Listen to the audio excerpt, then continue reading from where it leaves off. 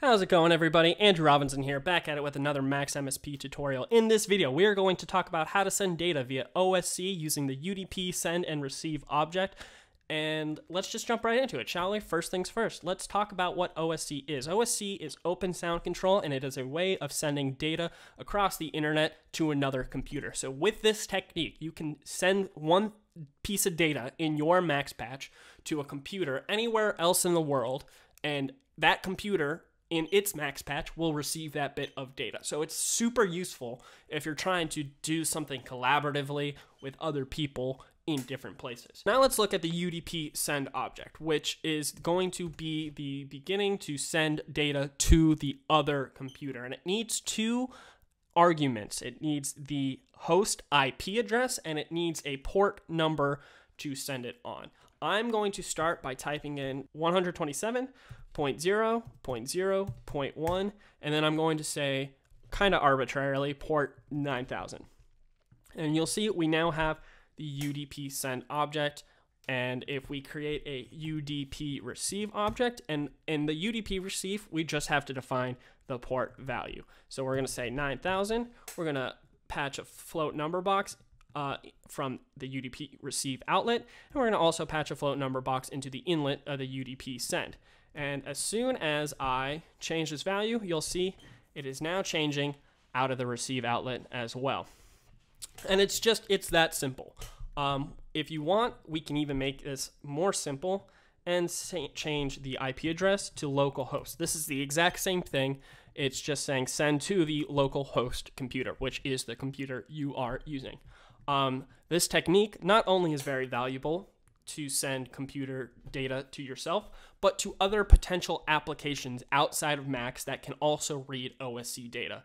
There are many, uh, many, many different software tools that can, and you might find this to be very valuable for something you're trying to work on. So that's that is already a very simple and very useful technique that can do a lot. And it's not just float number values that we can send. We can send any bit of data. So we can type in the word hello and send that, and you'll see we get the hello message in that message box. Perfect. And you could do strings of sentences if you wanted, and many, many things. If you are trying to send multiple bits of data, uh, say like maybe three different floating number values, it's going to be hard to see that because everything is going to update to whatever the last bit is sent out. So you see they're all 41, now they're all 45, and now they're all 65. If you wanted to specify and send multiple bits, you got to add headers to your data, which is basically just like a word symbol to tag what it's for. And it's very easy to do. We can use the prepend object to do this. Um, now, the correct format for OSC um, is using a backslash and then what you want to label your data as. So we're going to say, I don't know, uh, backslash P1, P2, and P3.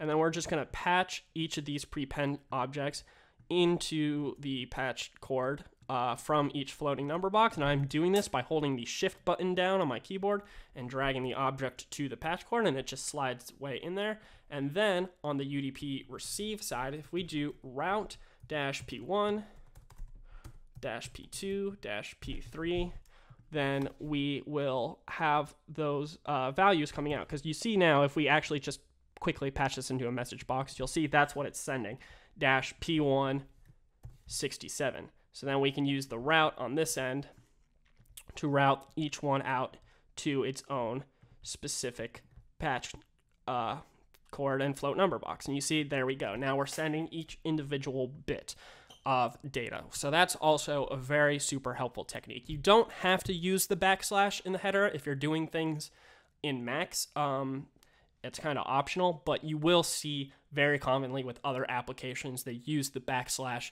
to uh, notify that this is a header for labeling the data you are trying to send. So super useful um, to keep in mind for formatting purposes.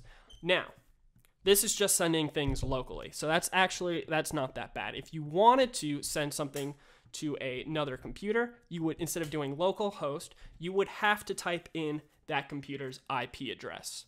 And that the IP address that you specifically want to use in this instance would be the public IP address. That is step one. Step two is you may need to set up port forwarding on your computer. Um, port forwarding is basically going to set, take all incoming messages of, of, of the OSC and it's going to route it all into one specific port number. That would be this port number that you have defined here, uh, the port 9000. When you go to set up the port forwarding stuff, you would use the value of the port that you want to receive in. So, in this case, 9000. How to do that will depend specifically on your internet provider. I recommend just Googling how to set up port forwarding with your internet provider. It's not that complicated. Um, and that is already, that's pretty much it. It's a very simple concept, but it's very powerful. Uh, and yeah, I, if you did not know about these objects before, hopefully this is a nice quick intro into how to use them. Excellent. So here you can see we have two different screens. These are two different computers. I've got the IP address and port forwarding set up on my UDP send to send to this other computer, which has the UDP receive and it's set to the same port number. I am sending a text editor object into the UDP send so I can type anything I want into that box and it's going to pop up on the other computer through the route text outlet. it's very easy and I'm just going to show that example and what should I say? I don't know. Thank you for watching. And there it is. Look, thank you for watching. So, you know, you could use this patch as it is right now just to send secret messages to somebody else on a different computer. Um, and that's it. So hopefully you guys enjoyed this video. Thank you so much for watching. If you have any questions, please leave those in the comments down below. I will answer them when I can. And uh, if you did learn something, please remember to like and subscribe because that's how I know you learned something. Once again, thanks so much for watching, and I'll see you in the next video.